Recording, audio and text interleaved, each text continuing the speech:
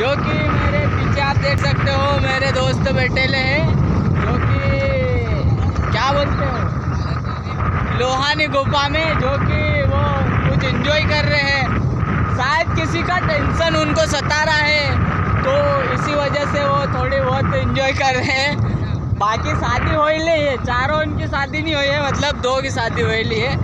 तो अगर मेरे चैनल पे नए हो तो चैनल को सब्सक्राइब करना शेयर करना और अपने दोस्तों में फैला देना। તો જય જોહર જય આદિવાસી જય હિન્દ જય ભારત.